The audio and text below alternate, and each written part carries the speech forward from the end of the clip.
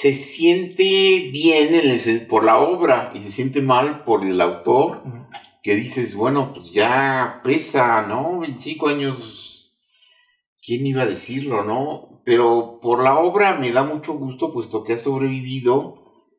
Ha sido una obra que ha llevado varias ediciones en diferentes lugares y que en algún momento ha sido libro de preparatorios y de universidades, ¿no? Entonces, pues haber puesto un granito de arena para restituir esa gran figura que fue Felipe Ángeles y que está un poco olvidada, que por desgracia no se encuentra en el panteón de los héroes de la revolución, cosa que es insólito.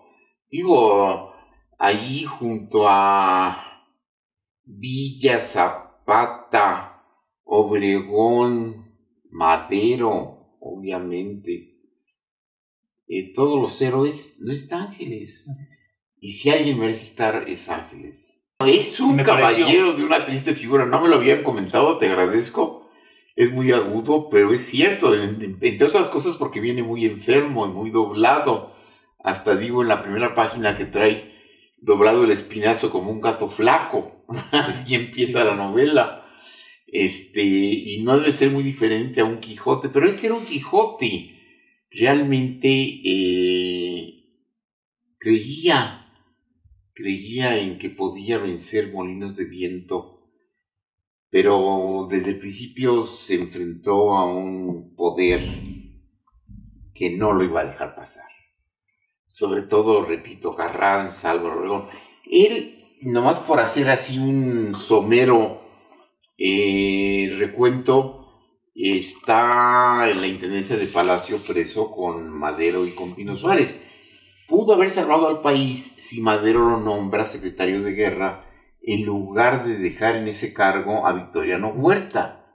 Quizá no hubiera habido eh, cuartelazo y quizá no hubiera habido revolución pero por esas razones raras, Madero andaba buscando a su Judas y lo encontró en Victoriano Huerta. Fíjate que yo entré a la historia por la puerta, trasera. Yo estudié letras, letras españolas, en la UNAM.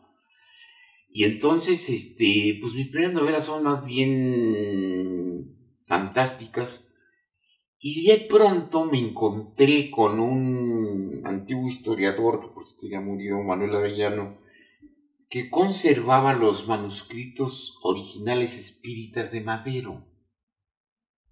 Estos originales espíritas de Madero los, se los había dado doña Sarita Pérez, viuda de Madero, para que los guardara porque si no la celosa familia católica que estaba en contra del espiritismo de Madero los iba a destruir. Y Manuel ya no los guardó y al final nos hicimos amigos por otras razones y no encontró mejor refugio que tu servidor para decirle, pues, a ver qué haces con ellos. Pues hice Madero el otro. Pero ahí descubrí que había un personaje al cual Madero tenía hechizado por la cuestión religiosa, que no es espiritista, porque eh, Ángeles es un profundo cristiano el último libro que, se, estaba leyendo ya en el juicio cuando lo van a fusilar en el Teatro de los Héroes en Chihuahua. El último libro que está leyendo es La vida de Cristo, de Renan. Entonces los unía el misterio. ¿El qué misterio? El misterio en algo más. Esta vida no se reduce al aquí y ahora, a lo que vemos.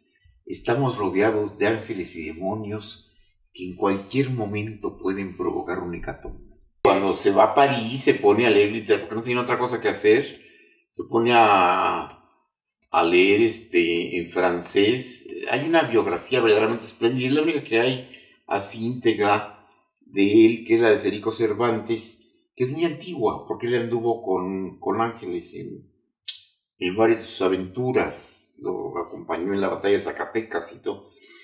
Y ahí habla de todo lo que leía. Pues prácticamente era su vicio. Se aventó todo Víctor Hugo, se este, aventó los clásicos franceses. También leía muy bien en inglés, luego vivió en Estados Unidos. y que por cierto su pasaje, ahí lo digo, en Estados Unidos es muy simbólico ahora que estamos en un momento tan importante en nuestra relación con Estados Unidos, cómo rechaza el espejismo de esa, esa ciudad de las grandes torres, esa ciudad donde impera el dinero, la fama, el glamour, la ficción. Es una especie de purgatorio el que cruza, es una especie de, eso dicen, eh, no solamente de alguna manera los cristianos lo tenemos muy, muy presente, ¿no? El examen de conciencia, sino los hindús que dicen que, pues en los últimos momentos de tu vida te cruza todo lo que has vivido y que hay un juicio, el único juicio te lo vas a hacer a ti mismo.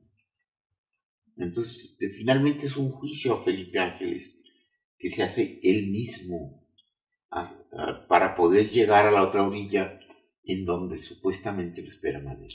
Es una especie de examen, de examen de memoria y de juicio sumario ante ti mismo me costó mucho trabajo, la verdad, porque es un personaje al que yo no quisiera juzgar, quisiera nada más amar, como lo, te repito, que fue entrañable para mí. Y este, sin embargo, pues tuvo muchos erratas en su vida.